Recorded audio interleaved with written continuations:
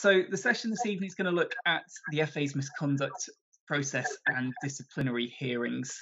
Um, what I would say is, by all means, as we go through the presentation, feel free to drop questions in the chat, um, or if you'd like to, you can um, raise a hand um, through Microsoft Teams, and uh, I can then come to you so you can ask any questions that you may have at that time. The session this evening uh, is broken down. It's it's down as um, five sections to it, but actually, I'm I'm hoping it won't be quite that onerous.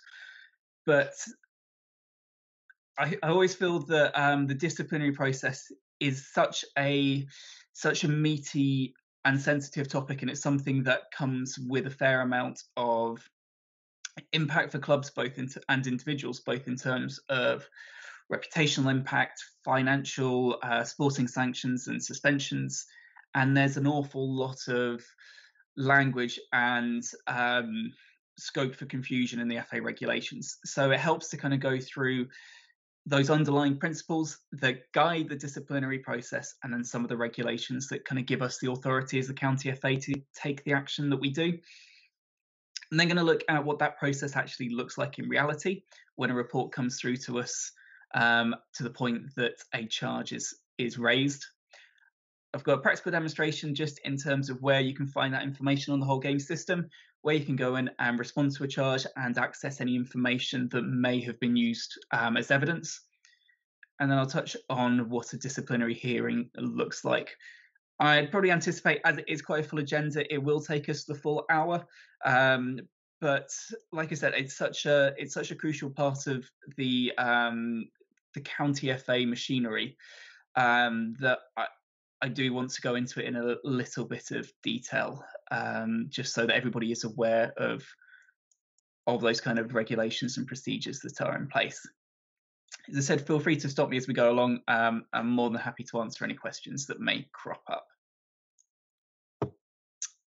So I'm going to start just with the FA's um, underlying principles when it comes to um, their disciplinary processes. So the five uh, key points that have come up on the screen now are the fundamental principles, um, which really inform and um, lead the decision-making processes.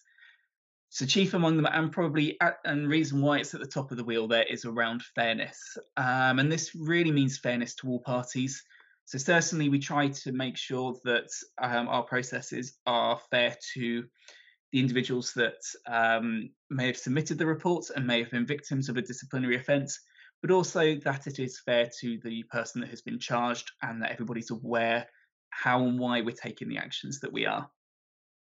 Next, then, is consistency, and that is trying to make sure there's a consistency in it, both in approach, um, in how, as a county FA, we look into incidents and we investigate, consistency in the types of charges and situations where we will raise formal misconduct charges, and then consistency in sanctions, um, which runs across the entire FA through uh, guidance that is given to disciplinary panels nationally. Means that you know that um, an equivalent offence in Berks and Bucks is not going to be disproportionately um, sanctioned versus the equivalent offence in Northumberland, let's say, you know, where we may be handing out five game bans uh, here up in another county, they're not just going to be um, issuing a, a, general warning. Equally, if a decision is uh, found proven and uh, sanctions are issued, they need to be proportionate for the offence. So, um, a, a, more minor uh, verbal infraction, uh, swearing at a referee, shouldn't be um, shouldn't carry the same weight as an act of assault, let's say, because they are clearly two different levels of offences. That ties then into appropriate sanctions, that they are both um, proportionate, but sanctions should also be appropriate for an individual's role. Uh, one of the key ones we would look at there would be, for example, if a referee were to get charged, their sanction should not necessarily be a match-based sanction because that may be, um, you know, referees may be doing multiple games in any given day on any given weekend. A two-match ban to a referee could be served on a Saturday morning um, whereas a two match ban for a player may t- would normally take two weeks to be served. And finally, we look to do an education program, and that, that includes not only potentially issuing education requirements as part of a disciplinary outcome, but also that underlying principle that we have a responsibility to educate our clubs as to what our processes are. So certainly evenings such as this, uh, some of the other education sessions we've run um, over the last few years are really about that, trying to make sure that uh, those people taking part in the game and the volunteers who give up their time to to run football and to make everything work are aware of uh, what is happening behind the scenes at the county. So again, within that underlying principle, a uh, key one um, is also around timeliness, and that is making sure that when we take action, we do so effectively and predominantly in a timely manner. We want to make sure that if someone is being sanctioned for an incident that's occurred on the football field, that actually that uh, sanction is happening in a timely manner. It's not something that's dragging out for six months and actually they're serving a, a suspension for an offence they committed months ago, during which time they've had the opportunity to commit further offences, let's say, or if you're looking at a um, higher level player or a high skilled player, they um, they're not benefiting their club or we're not helping their club out by making sure that they are not serving a suspension promptly, uh, which could then impact that team's ability in the league. So, under the regulations, as a county FA, we have to raise a charge within 90 days of the incident being reported to us, and we have up to 180 days then to resolve that case. Now, these are very much the higher end of the scale here. Um, we have up to 90 days to charge and up to 180 days to resolve a case. And we would hope we would never actually get anywhere near that kind of level. Particularly, I would say that 90 day to charge. Generally, we um, we try to make sure that we we are turning these cases over quickly because of the impact it has on clubs, uh, participants, and on the leagues generally over the last couple of years we have been um, the average length of time it takes us to raise a charge from an incident being reported to us uh, stands at about 10 days um, which i believe is is appropriate. Um, the majority will probably go out or we aim to get the vast majority out within a five working days of it being reported to us. So you look at your saturday football saturday or sunday football we want to make sure a charge is out by that friday However, there will be some which involve a little bit more investigation, um, a little bit more of consideration or collaboration with other counties or with the FA before we can raise a charge. So um, that's why we have that very much internal target of raising charges within 10 days of, them being, of an incident being reported to us.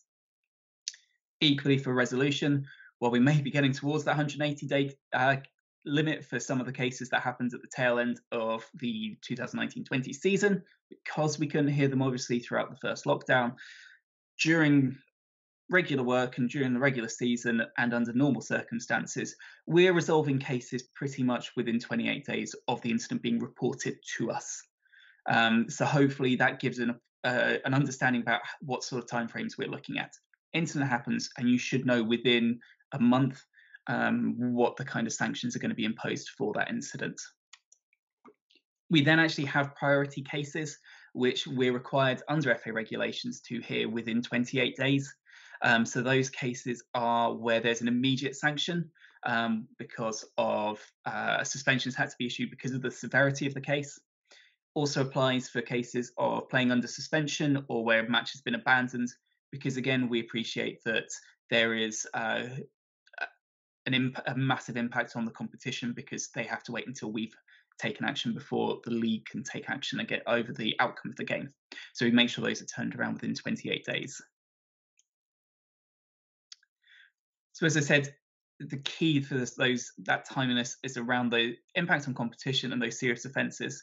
And the final principle there about where timeliness is is particularly important is where young players are involved, and that is really because for for younger players, for for children, for teenagers, you need to be able to associate the the cause and the effect. Um, the, it's been shown through various studies and through various research that the longer you wait to impose a punishment for um, against a child for some kind of act that they've done wrong, uh, the less they associate the punishment with that initial offence. So therefore, again, as long if we can try and turn around some of those cases that may involve 13 or 14 year old players and make sure that a um, a penalty is imposed upon them within three or four weeks of the offence taking place, it helps modify that behaviour and uh, reinforce to them that that um, that action or those words, whatever it was, the offence that they committed was not appropriate.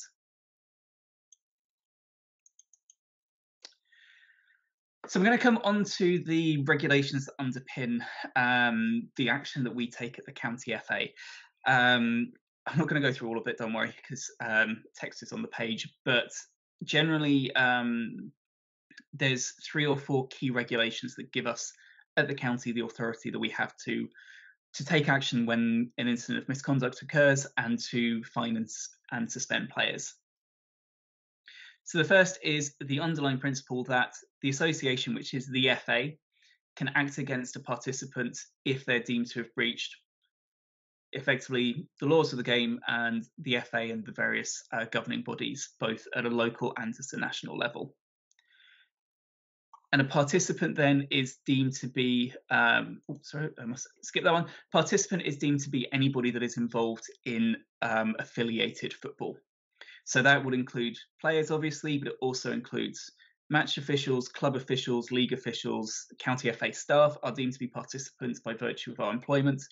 So anybody effectively involved in the FA structure um, and taking part in football that is affiliated or sanctioned under the FA is deemed to be a participant. Effectively, the one group it does not include are passive spectators, so people that have no um, kind of active role in a football club.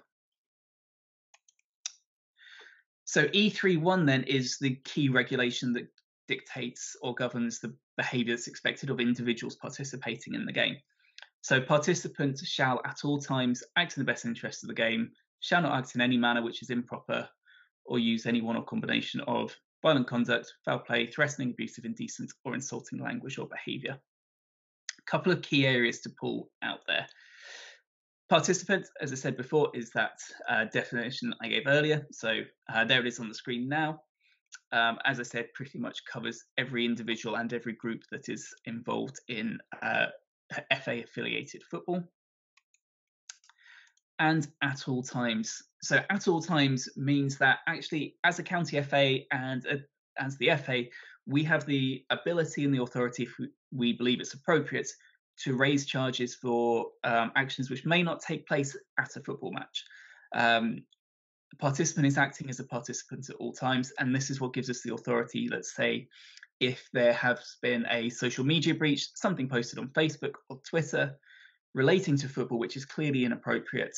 Um, a participant is still a participant. It doesn't start and end at the at the kickoff and at the final whistle we will only kind of um, invoke that power outside of a football match when it is appropriate. Clearly, if a grassroots football player gets into some kind of incident um, out on the street which has absolutely nothing to do with football, um, it probably wouldn't be appropriate for us to step in. However, let's say that I'll go in the social media example, but also let's say that two players from clubs, um, from two different clubs, had had an incident a football match on a Saturday uh, morning and then we get a report that actually they'd um, bumped into each other in town later on that evening and had got into a massive fight again, where still the basis of that fight was the incident that had occurred in the football game.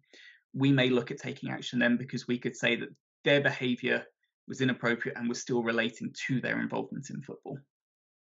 As I said, these are kind of exceptional circumstances. The other one that I wanted to draw attention to uh, is FA Rule E20, and this is the regulation that covers the behaviour expected of clubs and organisations.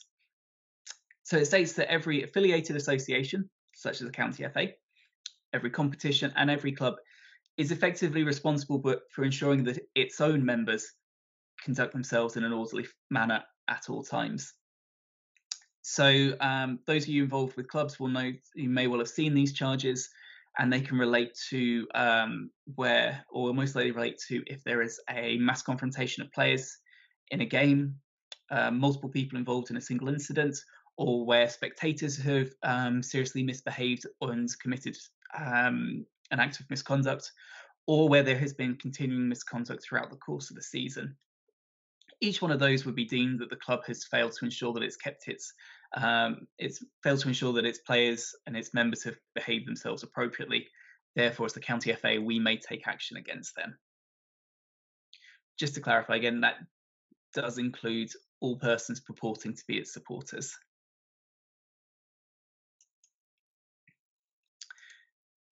Final couple of regulations that I wanted to draw on. Um, these are ones which you would never see referenced in any kind of charge letter, but I just wanted to kind of touch on them because it shows how, as the county FA, we have the authority to do this.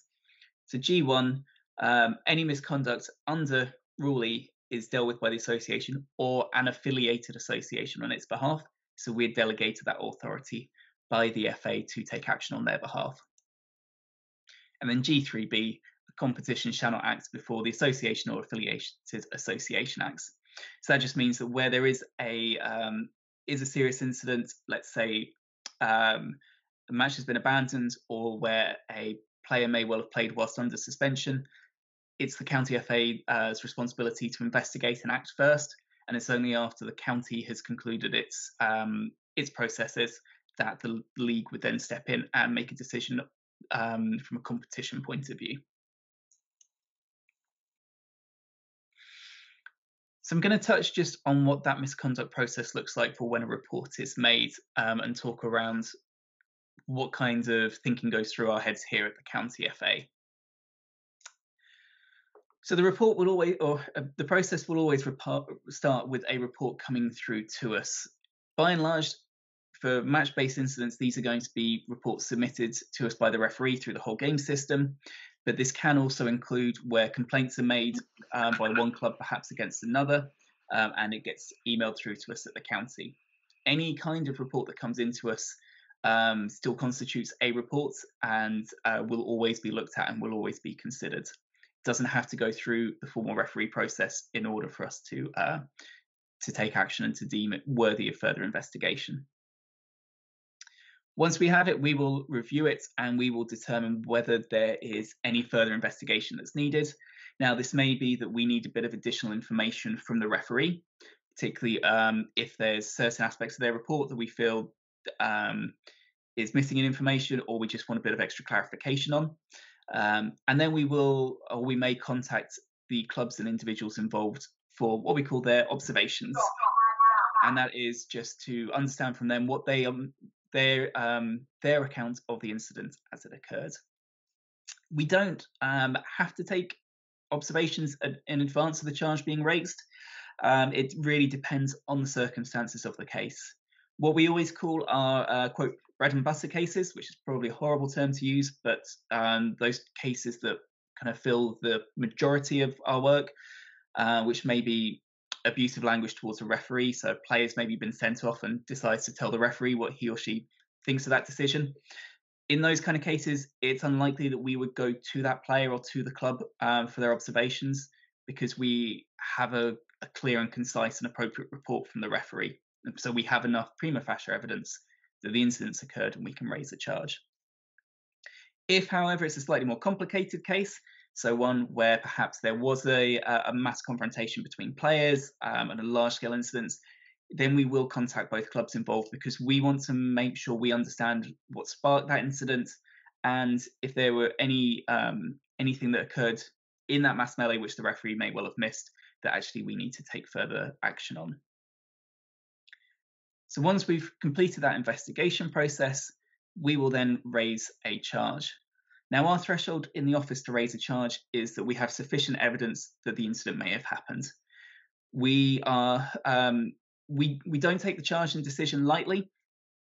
Um, we shouldn't be charging something if we have doubts that it occurred, but equally we may well and quite often are in cases where we have quite a bit of evidence that it did happen, and then quite a lot of uh, evidence in advance of the charge uh, denying that the the incident may even have happened. So sometimes we will be balancing that, and we will be saying, okay, if we've got multiple accounts that support that this incident happened, um, that is enough for us to charge because sometimes you do get those cases of um, he said, she said, and that um, the two different clubs or the two different parties involved may be offering conflicting evidence against each other. And if you're looking at it from a, an investigative point of view, if someone is aware that they are being accused of an act, um, they may they have a vested interest in trying to raise confusion in that. So if we are in a position where we've got multiple accounts in support of an incident happening, we will likely go ahead and raise a charge for it.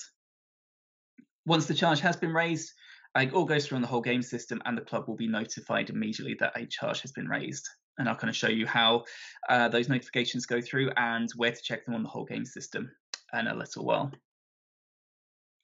Just so you're aware, if uh, reports come through from an incident that involves uh, the club from another county, or where there is potentially uh, racist, homophobic, or other discriminatory language that's been used, we coordinate with um, our neighbouring counties or with the FA on those at the investigation stage, just to make sure that everybody involved in the process is aware of all evidence, um, that there's not been information that's gone to, let's say, our, our um, partners at the Oxfordshire FA that hasn't come through to us, um, but could obviously impact a charging decision.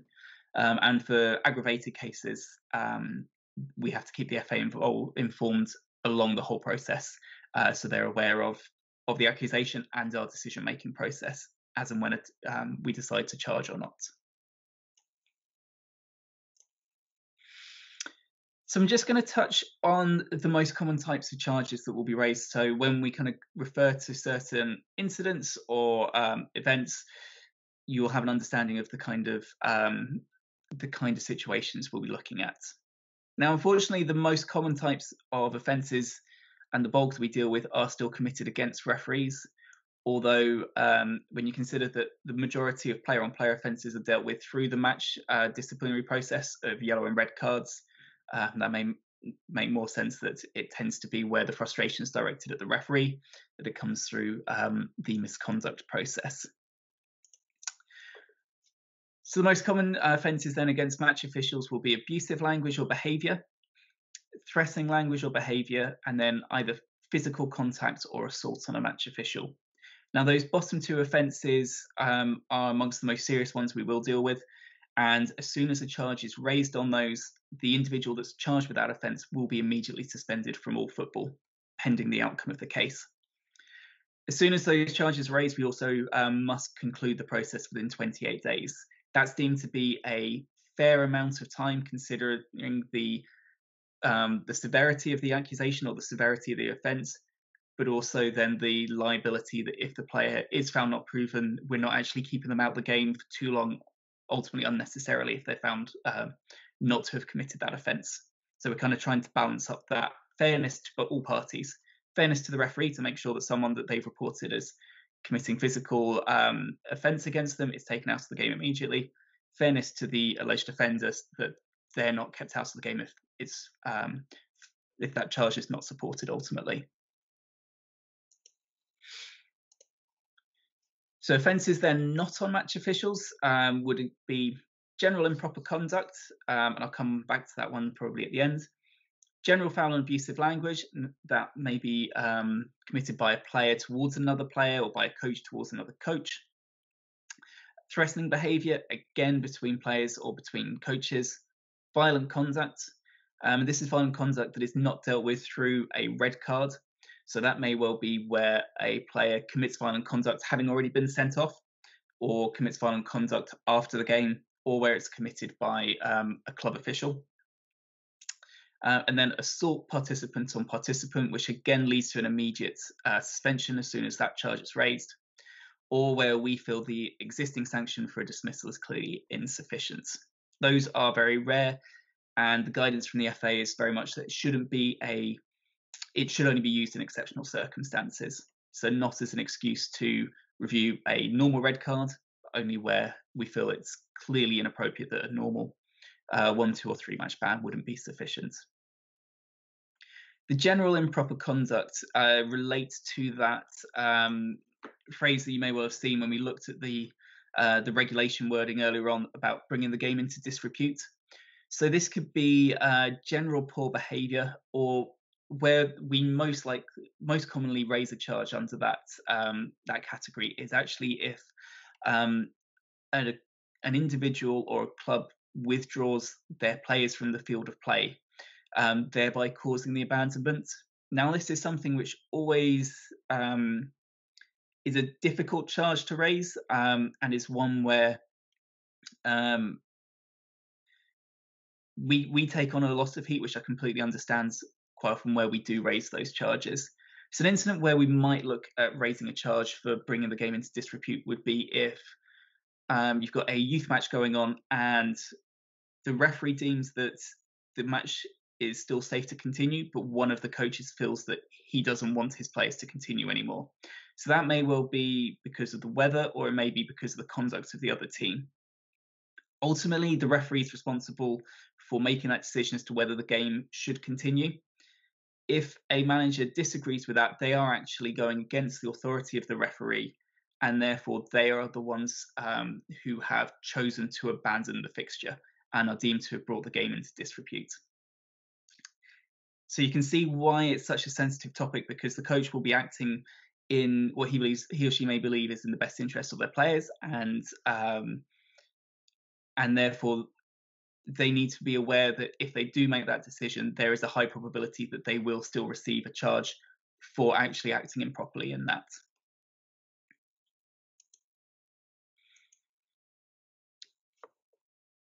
Moving on to the club charges, um, these are the ones that fall very much within E20. So, where a club has failed to ensure that its players, officials, or spectators conducted themselves in an orderly manner. As I mentioned before, these can be for a single incidents, so a mass confrontation, say, let's say, or by sustained abusive comments by spectators, or it may be for continued misconduct over the course of the season. And I touched on that um, at another session we did similar to this um, about a month ago, which is available on YouTube if you'd like a bit more information on that.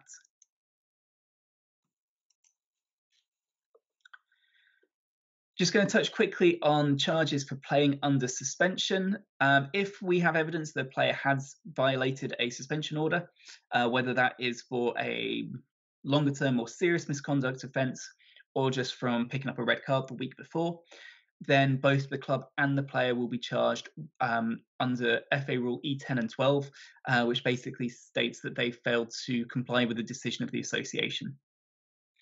Um, those are get those a few times a season. Um, the key thing to mention on those is that um, that charge will be raised whether or not you've received notice from us of the red card. Um, it's not, or it's deemed to be the club's responsibility to ensure that you know who has been sent off from one week to the next and what the terms of their suspension are. If a suspension is not shown on full time or whole game, or the referee reports the county in time, that is not deemed to be a legitimate excuse for playing a player whilst under suspension. Um, so that's why it's really important that you stay on top of the disciplinary paperwork um, and particularly stay on top of any red cards that may be issued week to week. Again, go into that in a lot more detail um, within the the last uh, support session we did a month ago.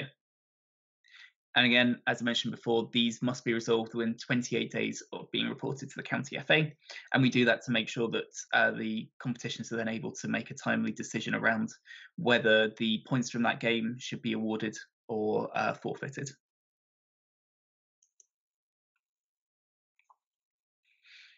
Just going to touch briefly on a couple of uh, variations on the charges. Their terminology that thankfully are rare um, but useful just to be aware of in case you hear that phrase crop up from time to time. First is aggravated charge. So again, I'm going to just show you what the uh, regulation states, which is a breach of FA Rule E31, which is that behaviour expected of every individual involved in the game, um, is considered to be an aggravated breach when it includes reference to a protected characteristic under uh, discrimination law. So when um, if a comment is not and it falls as a comment, if a comment's reported to us that we feel is um, offensive and intended to be abusive, and makes reference to a player's ethnic origin, color, race, nationality, religion, gender, gender reassignment, sexual orientation, or disability, it falls under this category of aggravated charge. This um, the same process throughout the investigation, although we do coordinate with the FA throughout. Um, and it is one of the cases where you will receive full written reasons once a decision is made on that case. reason for that is because of the uh, sensitivity of the kind of offence, but also the profile that these have within football. It's not a case of asking if a comment is necessarily racist or homophobic or sexist in and of itself.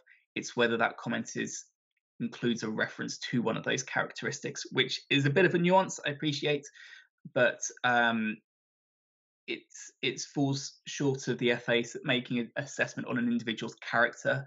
We're purely looking at the nature of that comment.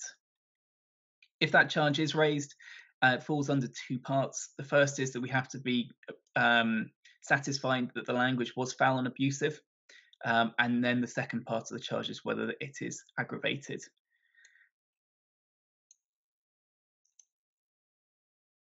The other type of charge I was going to look at is alternate charges. And these are when uh, serious level offences are raised. So those um, charges for physical contact or assault on a match official or assault on another player. Um, when we believe one of those um, thresholds cases has been met, we have the option if we choose to raise an alternate charge with it. The higher charge, so the assault charge, let's say, will always be considered first. And if that's proven, then the, the panel continue to consider any sanctions based on that higher charge. However, if that uh, the, the, conditions of that higher charge are deemed not to have been met by the panel, they can still consider the alternate, which would be a lower but a similar charge. So the uh, types that we would do would be if a player is charged with assaulting another player, the threshold for assault is um, an act that causes serious bodily harm to the opposition player uh, we would raise an alternative of misconduct so that if the panel decide that actually the the injury sustained doesn't constitute quote serious bodily harm they can still take action against that individual for the severity um, of their actions or for their actions but of the lower severity. So we deem it to be violent conduct as opposed to technically assault. And uh, there you go. You can see kind of the primary charges and the alternates that we would raise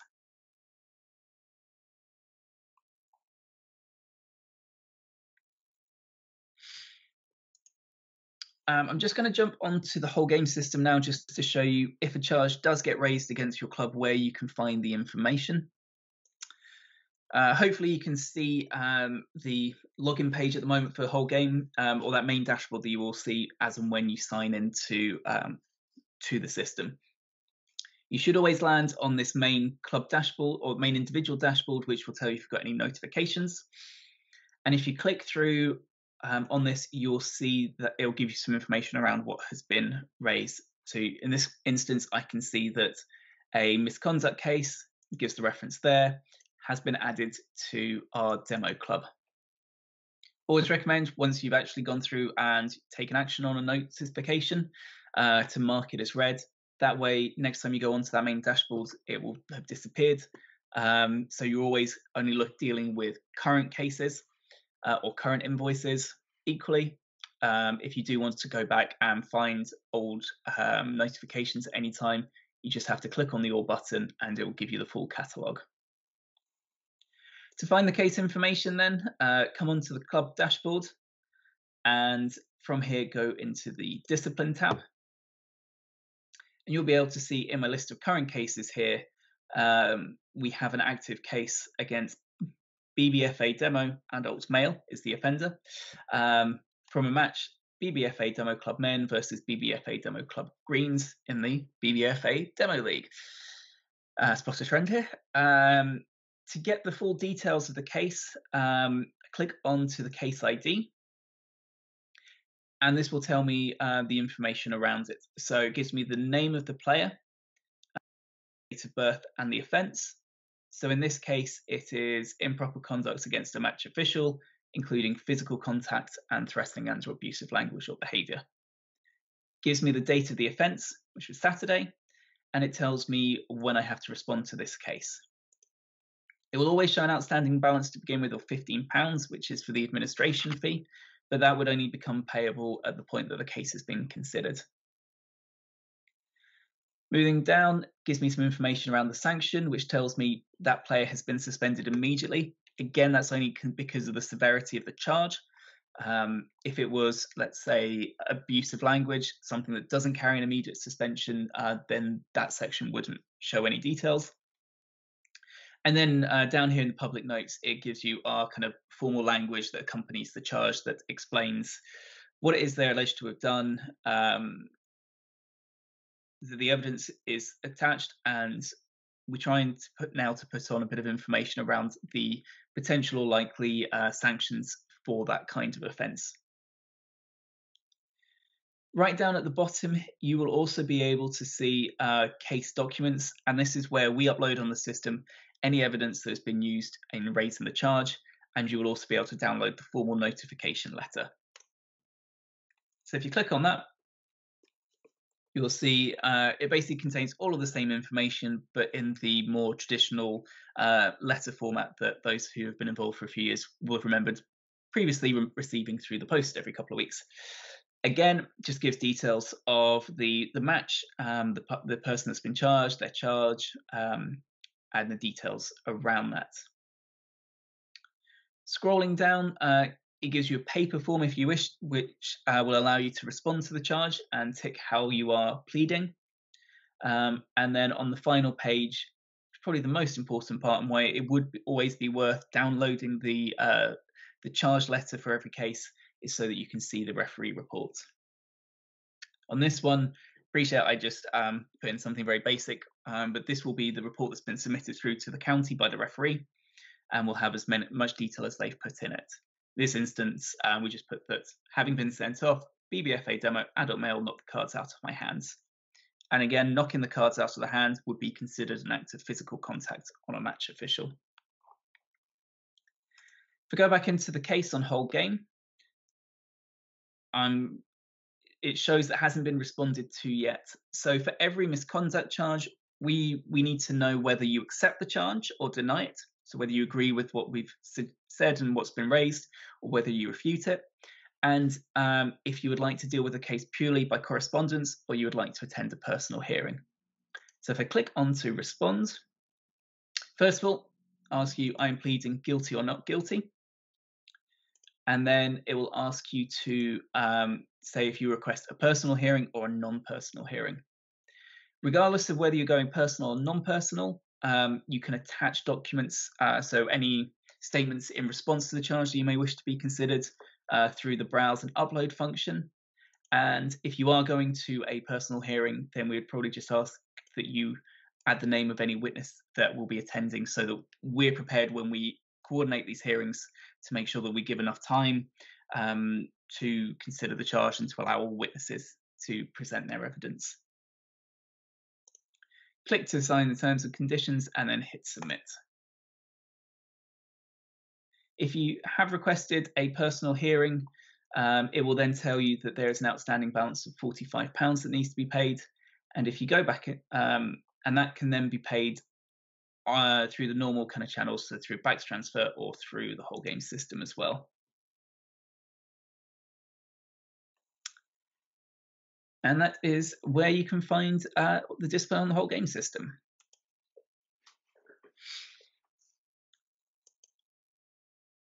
Just to talk for a little bit now around the disciplinary commission and hearing process. Um, so what happens once you've responded to us? Um, generally, there'll be a couple of weeks between a response being submitted and you finding out the results. If it if you requested it be dealt with by correspondence.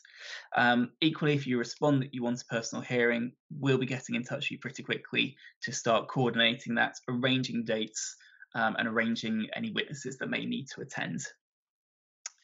Either way, every single case that is charged by County FA must be considered by a disciplinary commission.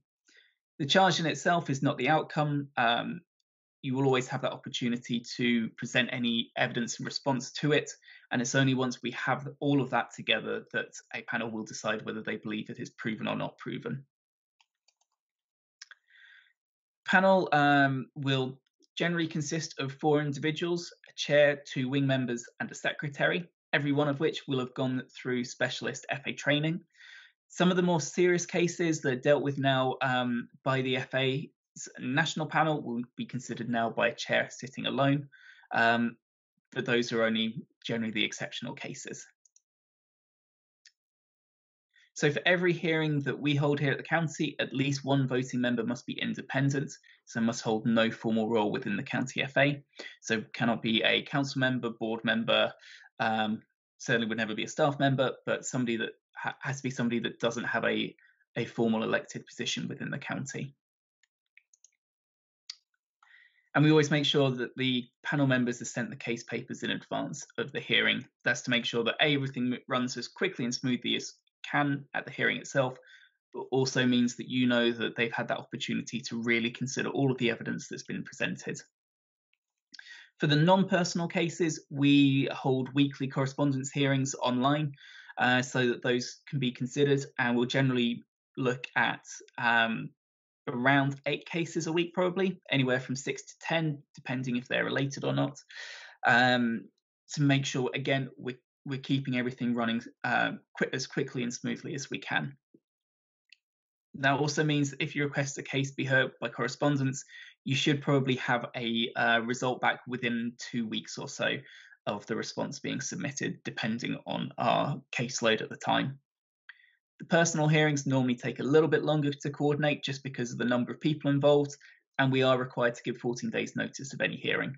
So again, it's probably about, um, I'd say on average, about a month between a response coming in to a personal hearing and um, that hearing it's, itself actually going ahead. For the decision-making process, uh, hearings are inquisitorial and not adversarial. Um, and the burden is on the county FA as the, the body bringing the charge to prove it. That's not to say that we have someone that stands up and presents the case and argues for it to be found proven. As we said, it's not adversarial, it's not the county versus the player, and it's not the referee versus the player.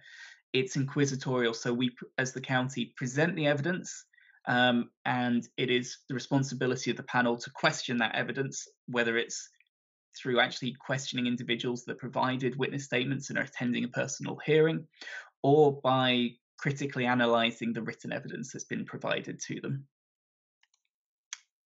And the Commission must be satisfied that the alleged offence occurred on the balance of probability.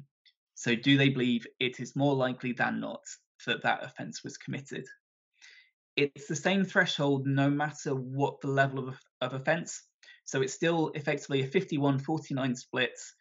Gut feeling, yes, it's more likely than not that it happens, whether we're talking about um, you know, abusive language from one player to another, all the way up to an assault charge. Um, and that is deemed to be the appropriate civil burden of proof um, for these kinds of offences. For personal hearings, uh, we will always hear the county FA evidence first, so that will generally be the match officials, or it may be any other witnesses who have provided statements in advance. What we cannot do as the county FA is we cannot introduce new evidence that the person being charged has not already had the opportunity to witness. Again, that is um, a question of fairness. It is not fair for them to have to uh, respond to new evidence on the night and not have that opportunity to consider and analyse that evidence in advance. The defence then provide their evidence, so the individual that's been charged will give their account of what happened, and uh, they are allowed to bring any supporting witnesses they deem appropriate, and they are allowed to introduce new evidence on the night because it is uh, their right to defend themselves to the best of their abilities. At each step of those, any witness that attends, whether it's the match official, the individual that's been charged, or any supporting witnesses, either way, uh, can be questioned by the disciplinary panel and can be questioned by the individual that's been charged or someone acting as their representative. And then at the end of the hearing, uh, the individual that's been charged has the opportunity to provide a closing statement. So they have the final uh, say in their defence uh, for the charge that's been issued against them. At that stage, the panel will be asked to decide liability, so whether they think it's proven or not proven based on that balance of probability. If it's not proven, that is the ending of the proceedings, and we will cancel the charge on the system, uh, refund any expenses that are already gone out, and uh, there is no record kept on that individual's or club's permanent record. If it is proven, however, we will review that uh, participant's disciplinary record, whether it's the player or the club, um, over the past five seasons, and they have the opportunity to enter a plea for leniency uh, to try and keep any sanctions down as low as possible. At that stage, the disciplinary panel will make a decision as to what sanction they will impose. Just to talk about a couple of other terms that may crop up when looking at personal hearings or things that throw spanner in the works. Um, mentioned earlier that if there are cases involving clubs from other counties, we work with them. Um, equally, if there are multiple cases from the same game um, relating to different teams, we will always make sure that those cases are heard together at the same time in what we call consolidated proceedings. Reason for that is that the evidence from one case may impact whether another case is proven or not proven because the facts of the case are so intertwined. Therefore, all individuals who have been charged should have the opportunity to um, respond to all evidence that is provided. So, in those cases, any defendant that's requested a personal hearing has the opportunity to question all witnesses and each other uh, throughout the process. Mentioned earlier that individuals have the right to be represented. Um, and that can be a legal representation. Uh, we just ask that we're notified in advance if that's going to be the case. Um, and the, but that representative can also just be somebody else from within the club. Um, so it could be a club secretary representing a player, maybe a member of a referees association representing a referee if they've been charged with an offence. But the individual that's been charged must always still be present and must respond to any questions of them as a witness um, they cannot it, we cannot deal with the case in their absence because ultimately they're the one that's been uh, charged. They're the one that has to be satisfied that they've had every opportunity to defend themselves to the best of their abilities. Equally, a representative cannot act as a witness, and the reason for that is they've had the opportunity to hear all of the other witness statements. Therefore, any of their own evidence um, could be prejudiced by what they've already heard. We can, however, have a, a written statement from them prepared in advance. Finally, um, mentioned as well earlier that aggravated breaches will be uh, we will provide written reasons for them and that actually has now extended across serious offences against match officials and individuals so um, these are generally considered the most serious kinds of cases we deal with so it's anything involving potentially discriminatory language any act of physical contact, uh, threatening behaviour, or assault on a match official, or any assault uh, between two different players, and any um, instance where there's a suspension of over 10 matches and heard by personal hearing, we will produce written reasons to explain how and why we came to that decision and have imposed such a significant penalty. Again, that's all done on the aim of fairness to all parties um, and consistency across the country and transparency across the network. That applies um, whether the charge is not proven or proven. So it's also important for us to be able to say that if we've had an allegation come through of physical contact on a match official that ultimately is not proven, we th- we believe that there's a responsibility to go back to the referee and be able to say to them, this is why the charge has not been proven and no sanctions have been imposed. Equally, there are mandatory minimum sanctions for certain offences to ensure we have that consistency across the country, ranging from um, standard ones of 112 days or 182 days um, for offences against match officials, up to five to 10 years for acts of assault. Um, and then they have mandatory minimums, which a panel cannot go below. So, therefore, if you have a player that's been charged with physical contact on a match official, you should not ex- you should not see a suspension shorter than 84 days. Equally, um, down at the bottom, you'll see the uh, offence of a first aggravated breach will always carry a mandatory minimum sanction now of six matches and £75. Again, that's to reflect the severity of those kinds of charges, um, sensitivity of them, and the profile of the those kinds of offences uh, in football at the moment. So you should be seeing consistent sanctions um, across the entire country for those kinds of offences.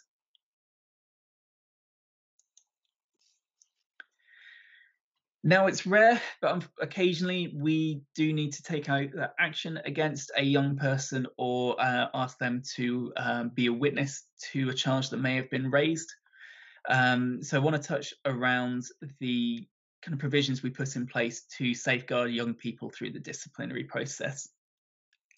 So the minimum age to attend a hearing is 14 years old, um, and any witness um, under the age of 18 participating in youth football must be accompanied at a personal hearing by what we call a responsible adult. So, generally, a parent or a club representative, someone that um, is there effectively as a, as a safety net and moral support. They shouldn't be taking an active role in the hearing, but they will be um, be sat with that young person throughout just to make sure that they feel comfortable and indeed if there are if they do have concerns either um, for the well-being of the, the, individual involved or around what is happening we will work with them to make sure that those are taken into account what i would say is uh, new regulations come in for this season which is that players aged 14 to 16 um, must now or can only now attend a hearing remotely um, even once we come out of lockdown and are back in the position where we can have personal hearings in person rather than across uh, the the internet, um, players aged 14 to 16 will still attend remotely um, with a parent sat by their side. We also make sure that in those situations, uh, when someone under the age of 18 is involved, that only the chair will interact with them. We do this again to avoid them feeling like they are on trial, even if they're only providing a witness statement, perhaps if it's a 16 year old referee, let's say, um, and to avoid any feeling they may have of intimidation with any uh, any indiv- other individuals who have been charged or acting as witnesses. So the chair will try and make it as conversational as possible and deal with them very much on a on a one-on-one basis if there's a 16 or 17 year old um, that's been either charged with an offence or is acting as a witness for an incident in adult football, we will generally treat them as an adult. Um, but if there are any concerns around their well-being or their um, their comfort in attending a hearing, we will make sure that we adopt those kind of uh, young person procedures. Ultimately the, the motto we have is that they are a child first and a football participant second.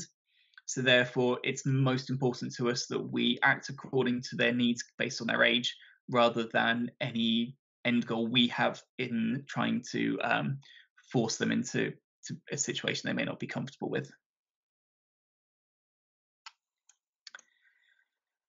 so going forward um, i always like to try and conclude these uh, sessions with some practical advice to clubs. Um, appreciate you've listened to me recite regulations, procedures, and um, everything else this evening. But these are probably the most important takeaways, things you can do on a practical basis week in, week out.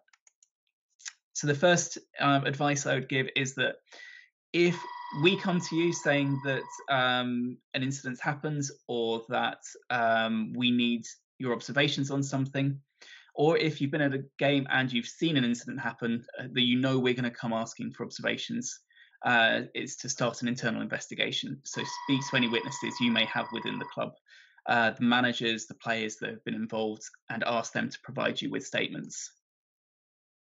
Share that evidence um, and explain the options if a charge is raised. So if a charge is raised against one of your players, um, make sure they're aware of all of the statements that have been provided against them and explain the options that are available to them.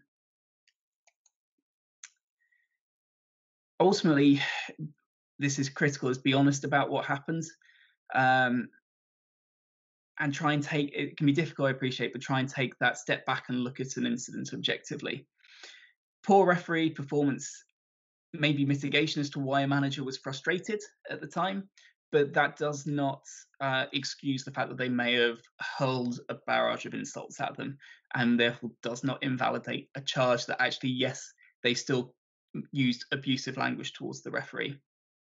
Equally, if all of your players and officials get involved in a mass confrontation, chances are that the club failed to control them or failed to ensure they conducted themselves appropriately.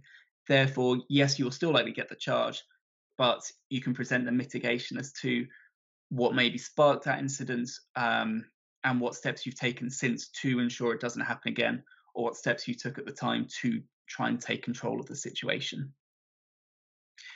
If you do opt to go for a uh, personal hearing, um, please please prepare. Um, I say this as someone that's sat in several hundred uh, hearings of various types now over the last five years.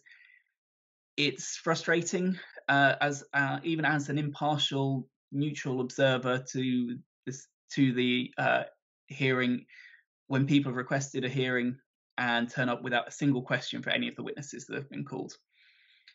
You will do yourself the best justice you can and you will put yourself in the best position by preparing properly. Um, you know that the referee is going to be there, and you know it's likely that anybody else that's provided a statement will be there, or you at least have the opportunity to comment about anything you disagree with in a somebody else's statement.